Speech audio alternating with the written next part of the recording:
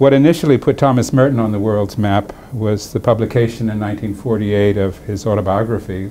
Perhaps some of you have read it. Uh, the Seven Storey Mountain. I've lost count of how many copies of the book have been printed in English and other languages over the past 64 years, but we're talking about millions.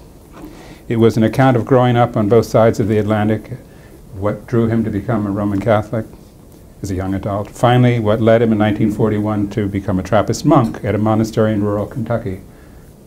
You may someday want to visit a Trappist monastery, and if so, it's the Abbey of Our Lady of Gethsemane, not too far from Louisville.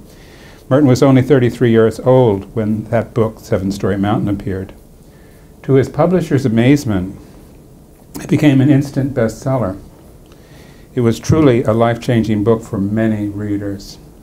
If you tried to assemble in a one place all the people who would say that book was one of the life changing books for me, I think you'd need a football stadium to hold the crowd.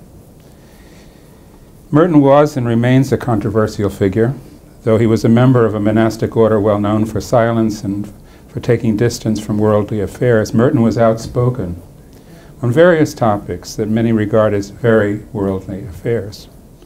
Merton was a critic of much that was happening in the world and also a critic of a Christianity in which religious identity was submerged in national identity. Merton got into hot water for his writings on war and peace, as well as for his participation in both inter Christian as well as inter interreligious dialogue. Through most of Merton's life, in fact, I could say on, right almost to the end, there was a Berlin Wall running between Catholics and Protestants. To the alarm of many good people on both sides of this divide, Merton climbed over the palisade. Still more controversial, he regarded dialogue with people of non Christian religious traditions, Judaism, Buddhism, Hinduism, Islam, as not only useful and necessary, but a profoundly Christian activity. Not all Christians agree.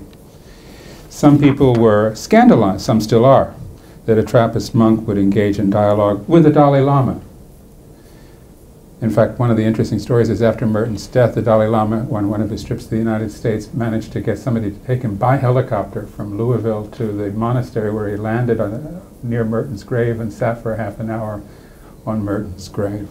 Gives some idea of how profound the connection was between Merton and people of other religious traditions. One of Merton's significant friendships was with Dorothy Day, and I, I gather many of you know who she was, but I'll refresh your memory. Another controversial person. As it happened, she is someone whose life began just a few blocks from where we are today. I, on my way here this morning, took a detour to Pineapple Street. She was born at 71 Pineapple Street in 1897. Very few people took note of the event at the time, of course. What put Dorothy on the map was her effort to weave together radical convictions about the social order with Christian life. This endeavor occurred after she became a Catholic when she was 30 years old. Less than six years after that event, in 1933, she founded and began editing a newspaper, Christen, whereas the Catholic Worker. If you don't have a copy, help yourself. They're over on the table. From that eight page journal, the Catholic Worker movement quickly emerged. So it wasn't just a newspaper for, for long, it quickly became a movement that still exists and is very vibrant today. It's a movement known for its many houses of hospitality for people who are generally unappreciated and unwelcome. Like Merton, she's also well known for her writings, which include a wonderful autobiography, one of the best autobiographies of the last 50, 100 years, The Long Loneliness. I recommend it to you. If books by Merton have sold millions of copies, Catholic worker communities have served millions of meals. But the Catholic worker is also known for its acts of protest against war and social injustice. Many people associated with the Catholic worker have served periods in jail for acts of civil disobedience or for refusing to take part in war.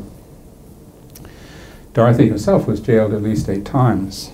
The first time was for taking part in a suffragist demonstration in front of the White House in 1917, just before World War I. When she had uh, just, uh, just turned 20 at that time, and her last arrest and confinement was for striking was for standing side by side with striking farm workers in California in 1973 when she was 75. So it was 55 years approximately of taking part in protest movements that in, included actions of being arrested. If Thomas Merton was occasionally controversial, Dorothy Day was controversial pretty much all the time. For those who think of saints as generally speaking law abiding folk, it may strike them as remarkable that the Catholic Church is currently considering a proposal from the Archdiocese of New York to recognize Dorothy as a saint, to put her on the calendar of the Church and remember her annually on her feast day, Dorothy Day, St. Dorothy of New York. More than a decade has passed since the late Cardinal John O'Connor launched the process. The current Archbishop Cardinal Dolan has pursued the process vigorously, winning the unanimous backing of all the American Catholic hierarchy. It has now approached the point where Dorothy has been given the title Servant of God, Dorothy Day, by the Vatican. And perhaps we will come in time to see her known as Blessed Dorothy, and finally, perhaps, as Saint Dorothy. It would not astonish me if there are people in this room today who will one day be present for a canonization, which presumably, if it happens, would be in St. Patrick's Cathedral here in New York.